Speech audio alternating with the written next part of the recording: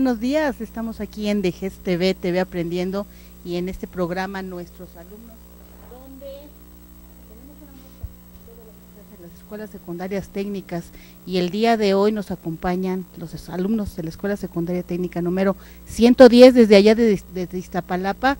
Y bueno, mandamos un gran saludo a nuestro director, el licenciado Cruz Martínez Hernández, a toda la comunidad y bueno, aquí está el maestro Alan de Artes que nos acompañó y acompaña a los alumnos para supervisar y coordinar esta práctica. Déjenme presentarles a los chicos que hoy vienen a Dejeste. Hola chicos, ¿cómo están? Buenos días. Buenos días. Saluden, díganos. Hola. Bueno, tenemos por allá a Axel. Hola Axel, ¿cómo estás? Bien, contento de estar aquí. Muy bien. Luego tenemos a Emily. Hola. Hola, buenos días. Tenemos a Edna. Hola. Y a Aileen de este lado. Bueno, pues yo los dejo con ellos, les van a presentar una práctica muy, muy interesante de artes. Bueno, pues nosotros estamos cursando segundo grado de secundaria y pues eh, eh, nuestro maestro de artes visuales en algún bloque de eh, técnicas de artes visuales nos ha enseñado cómo utilizar diferentes materiales como pintura, pinceles, plumones y en esta ocasión algo que se nos hizo muy interesante durante el transcurso de nuestra escuela es el calcado en la madera que más adelante les vamos a explicar cómo se hace, cómo se realiza.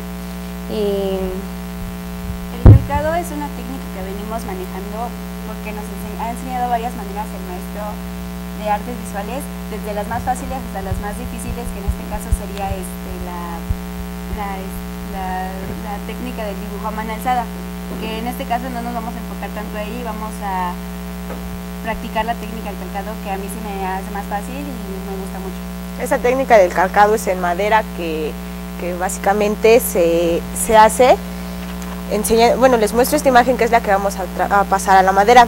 Entonces nosotros, el maestro de artes nos explicó que esta técnica se debe de pegar el dibujo aquí en la madera con cualquier masking o diurex o lo que ustedes ocupen y debemos de humedecer el trapo y debemos de pasarlo sobre la imagen de esta forma para que se vaya pasando la imagen así.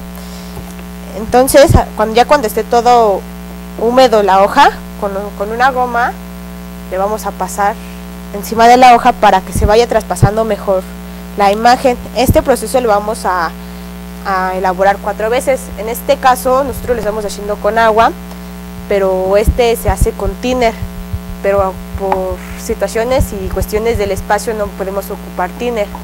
Entonces, ya que esté calcada la imagen, nos va a quedar algo así. Esta, esta imagen ya fue calcada con tiner, eso lo hicimos en nuestras casas, ya que ahí se puede utilizar.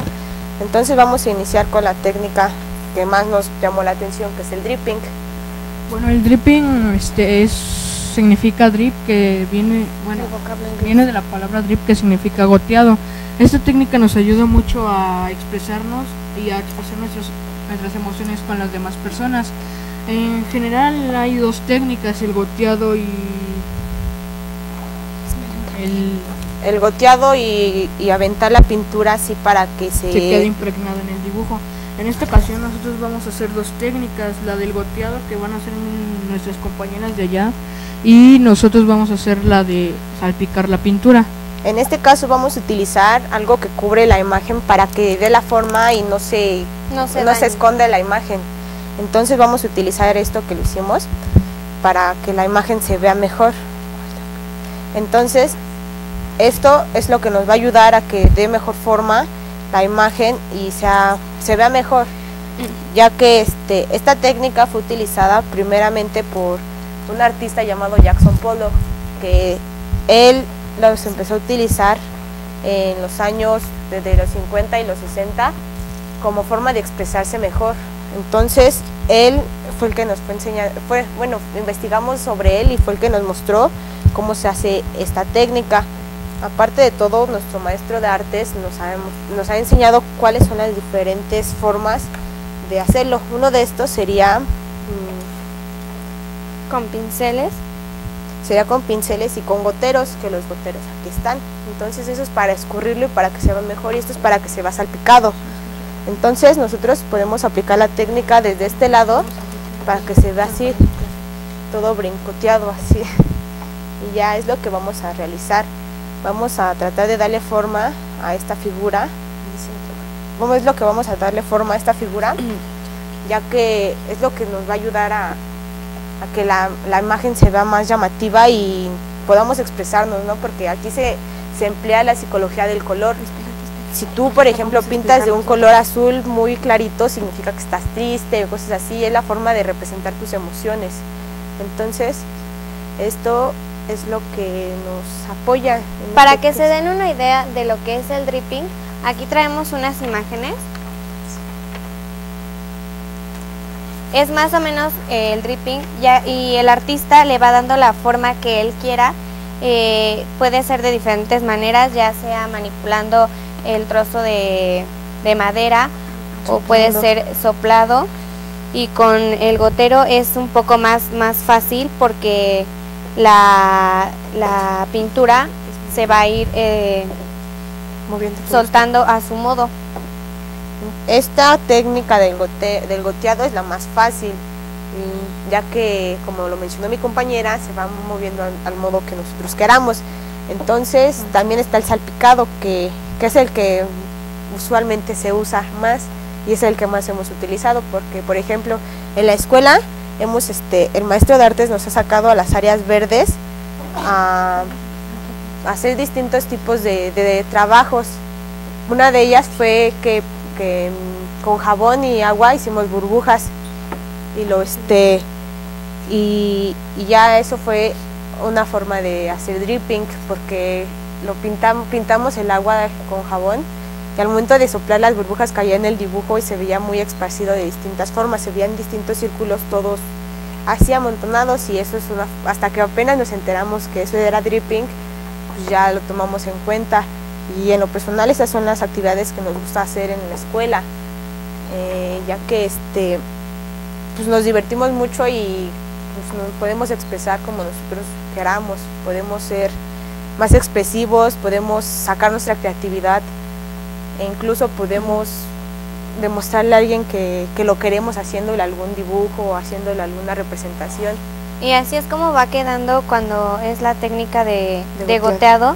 Y al momento de hacer esto te relaja, te, te liberas, sacas tu creatividad y es muy interesante ver el resultado final porque es satisfactorio para, para uno ver el resultado y que tú lo hayas hecho con tus propias manos.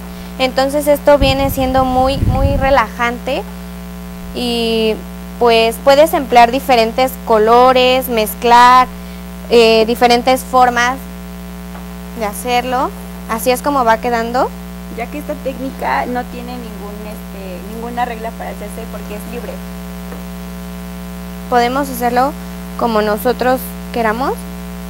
Este es el salpicado, que ahorita todavía no lo terminamos, pero esta es una forma de salpicar, donde empleamos el pincel o la brocha de una forma, podemos utilizar el color que queramos, depende de cómo nos sintamos también, eso es lo que nos representa. Entonces una técnica es hacerle así con nuestro dedo y irle salpicando de lo, del centro hacia afuera, para que se vea así, para que se vea muy salpicado. También traemos este pequeño sprite que es muy bonito el color y este se tiene que utilizar así para que se vea así como que brincado sin manchar bien tanto la figura que queremos mostrar, ya que este se ve así. Y así ya va quedando la figura y acá adentro está la pequeña bailarina que habíamos trazado. Entonces, podemos emplear de distintas formas, pero en lo personal a nosotros nos gustó esto porque pues, es, lo que hemos visto y en la escuela y es, más que nada es libre y podemos hacerlo como queramos. o de relajarte el momento de que estás muy presionado. Y como lo habían comentado anteriormente, te sientes muy satisfactorio ya que al ver, al ver los resultados y ver que te salió como tú querías, te ves, bueno, hasta se te sube el ánimo de que tenías antes diciendo, wow, esto yo lo hice con mis propias manos y sin ayuda. Es algo que nos ha mostrado mucho tanto el maestro de artes visuales como en otras asignaturas y eso es lo que por lo que agradecemos a la escuela que nos ha permitido expresarnos y aprender bastante sobre lo que nos interesa en estos momentos. También agradecemos mucho el apoyo que nos han dado nuestros padres, ya que ellos son eh, de gran importancia en nuestras vidas para poder ejecutar eh, esto, estos trabajos y también el, el director y la escuela que son muy importantes para nosotros ya que podemos expresarnos como nosotros queramos y hacer diferentes cosas que son gratas a nosotros como adolescentes. Mm, ustedes saben que en la adolescencia es donde más debemos de, de tener distintas emociones y esto es lo que nos ayuda, porque Jackson Polo al momento de inventar esto es una forma en la que él se expresaba, en la que él se sentía libre y él, él fue el primerito en usar esta técnica. Y al momento de que él empezaba a utilizar esta técnica se sentía muy satisfactorio ver sus resultados. Y desde ahí se empezó a hacer muy famosa esta técnica, ya después la empezaron a utilizar diversos más, demás este, artistas. Y pues ahorita lo estamos viendo en la materia ya que nos gusta mucho las artes visuales. Y el maestro aparte de todo es muy bueno para enseñarnos y sabe mucho. Entonces todo esto es lo que nos ha brindado nuestra escuela. Esto nos ayuda demasiado en todo, en desarrollarnos tanto físicamente como emocionalmente. Nos ayuda a convivir mejor con nuestros compañeros y, y también nos ayuda a aprender más sobre distintas técnicas, porque en diversos años habíamos utilizado también técnica con pluma, técnica con colores de madera, pero pues esta fue la que más nos llamó la atención porque las otras se ocupan siempre y esta es algo muy distinto, algo muy, muy distinto a lo que se ocupa usualmente. Entonces, esto mm, más que nada nos gustó porque no hay un orden en él, no hay reglas, no hay nada para hacerlo, podemos hacerlo como nosotros gustamos. Así que... Como ven ahorita no tiene nada de forma de dibujo porque la figura principal está tapada por una, hoja. que proteja el dibujo y que pierda la forma. Pero ya más adelante, cuando ya vaya agarrando forma y ya tenga varios colores distintos, pues ya se va a ver más, se va a ver mejor y, y va, va a ser una mejor, se va a ver muy bien ya que no hay un orden en específico y esto es lo que hace que como que llame la atención de los demás. Y aparte lo que hace más llamativo este dibujo es de que lleva varias varios tipos, tipos de colores, tanto oscuros como llamativos. Como ven aquí hay muchos tipos de colores, tanto los, los llamativos. los llamativos, los oscuros, los rosados, se puede decir, los rojizos, los luminosos, se puede decir así. más que nada los colores claros son los que le dan más, más energía, más amor a estas, a estas imágenes. Que, se vea más llamativo. Entonces esto es lo que nos ayuda, lo que nos gusta más porque podemos plasmarlo todo lo que sentimos en esto. También en esta técnica de dibujo o pintado también nos ayuda mucho a expresarnos cómo es nuestra energía por dentro, que si tú eres una persona muy lenta que no tiene tanta energía, pues vas a salpicar obviamente muy despacito o muy lentamente, pero si eres una persona con buena energía y muy veloz, se puede notar luego luego al ver cómo es tu forma de salpicado. En el goteado no se puede manifestar eso, ya que es poner gotas y nada más jugar con el dibujo a que se formen distintos colores o que vaya agarrando alguna forma.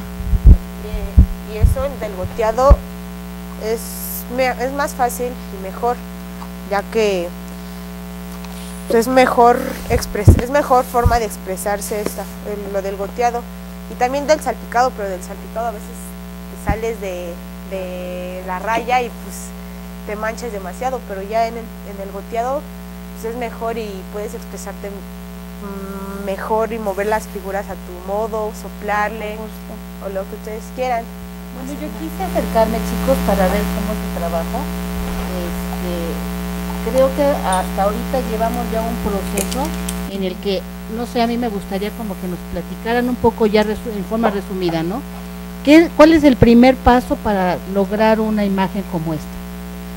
Este, el primer paso que nosotros empleamos para hacer este tipo de técnica fue primero imprimir la imagen que queríamos nosotros plasmar en el cartón y pegarla al reverso, o sea, de la cara de la imagen pegarla al, revés. O sea, ¿la imprimes en color o en blanco y negro? Eh, como usted quiera, puede ser en blanco y negro o a color. Y después de pegarlo debe con un disolvente llamado thinner le, le, paso encima y entonces ya la imagen, queda impresa en la tabla. Trabajando en la tabla o en, o en depende del avance. ¿Qué es lo que está aquí abajo? A ver si la levantamos un poquito. Es la, la imagen que ustedes imprimieron está aquí abajo. Está aquí abajo.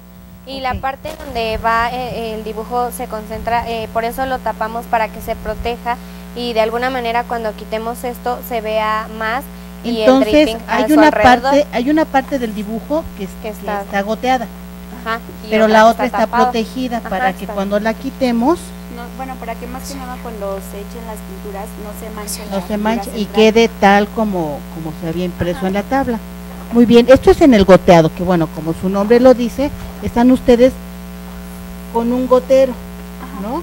Poniendo diferentes colores. Decían, a mí me llama mucho la atención lo que ellos dicen, que es como más tranquilo, ¿no? El goteado es un proceso con más calma, más paciencia. En cambio allá, en donde están salpicando, bueno, a mí me gustaría salpicar, nada más hasta que están de aquel lado, si no yo ahorita ya le hubiera metido las manos allá a la pintura. Si nos ayudan a levantar un poquito aquella también para que veamos cómo va el proceso del salpicado en el si que... se dan cuenta, el salpicado va de diversas formas pero principalmente debe de ir hacia allá, pero ya que la figura que nosotros plasmamos aquí, todo lo que sale de, por ejemplo, del vestido va hacia ese lado.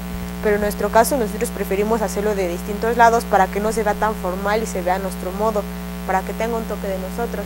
Y entonces no es formal, perdona Axel por interrumpirte, no es algo formal este tipo de, de, trabajo, el dripping. Perdona Axel, ibas a decir algo. es que el dripping no es nada más así con una forma así formal, sino que tiene varias formas o varias formas de salpicarse y aquí en lo, personal el salpicado lo que representa es el cabello de la bailarina que está moviéndose por el aire. bailarina allá abajo.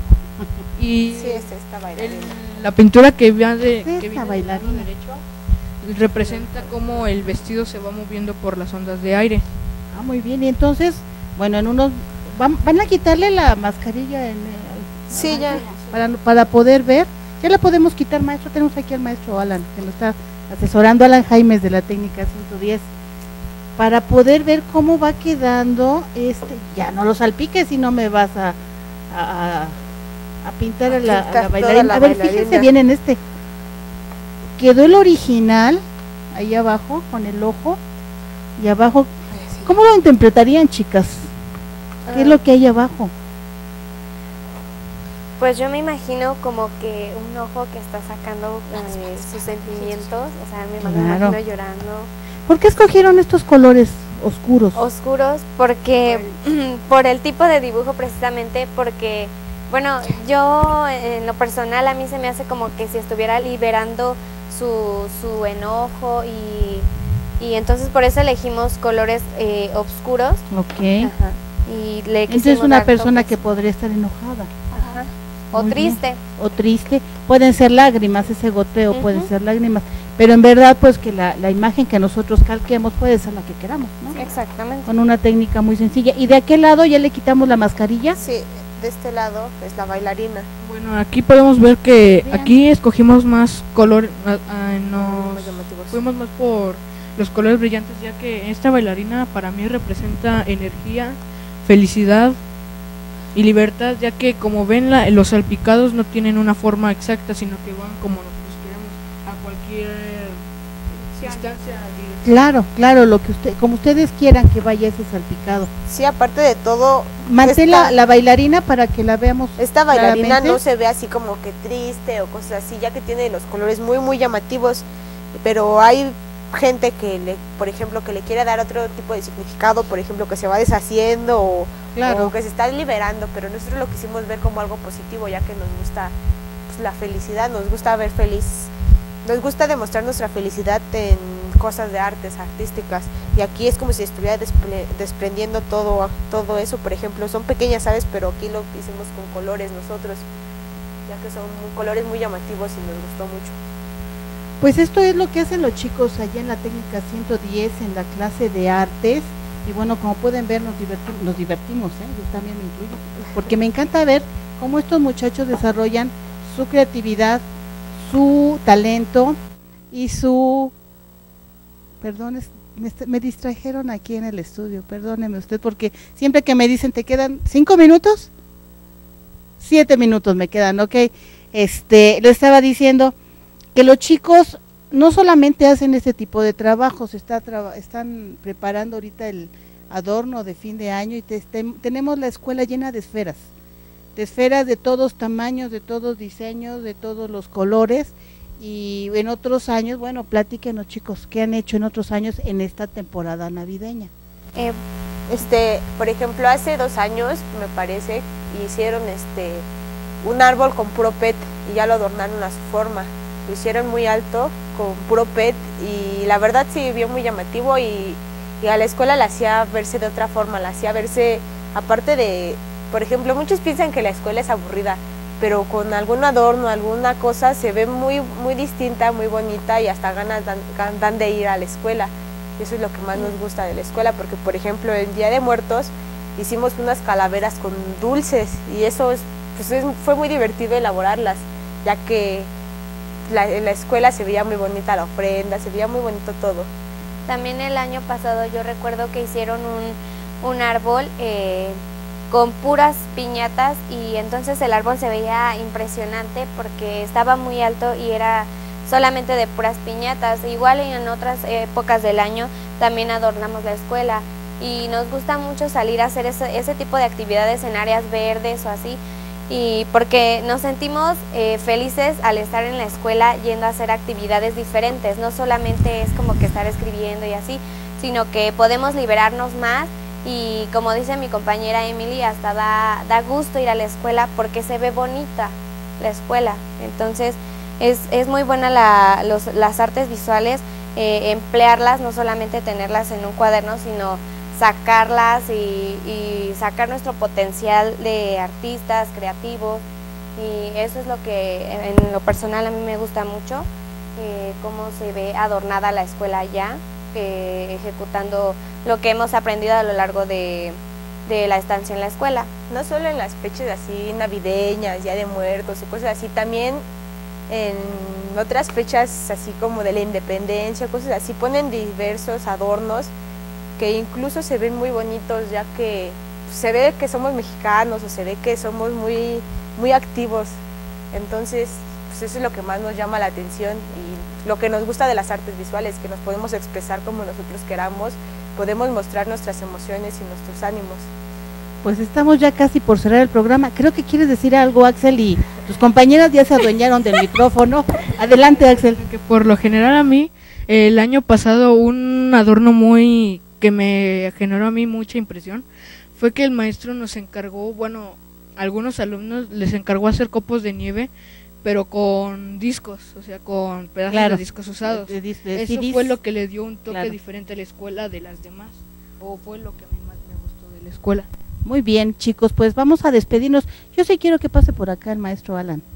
Ya sé que no quería pasar, pero este, pásele por acá.